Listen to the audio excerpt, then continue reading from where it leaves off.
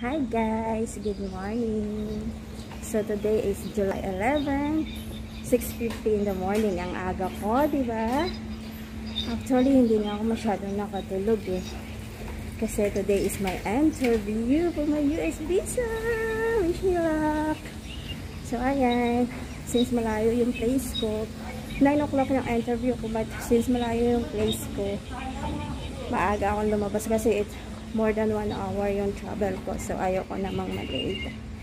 So, sana ito na yun. Hindi ako masyado nakatulog kagabi. Excited siguro, ewan. Or nag-nap din kasi ako ng hapon. Kaya, samahan niyo ako. Ayan guys, habang naghihintay ako ng train, ito yung ini-prepare sa akin ng agency ng mga kailangan ko. Yung ID ko, yung passport ko, at yung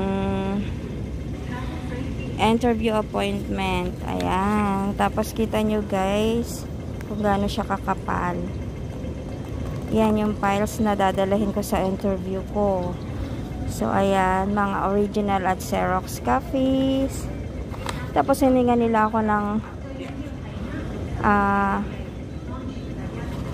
con yung conversation namin. Yan. Yung evidence. photos, kung anong meron tayo dyan. So, ayan. Kasi we start since 2016. So, ganyan kadami guys. Mga pictures, mga conversations.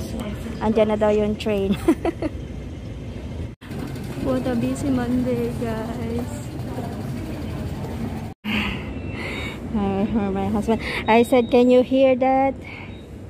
Yes, I did. I heard it. What yeah. I'm in front of the church. I get the blessing. you see? You got a I'm in front of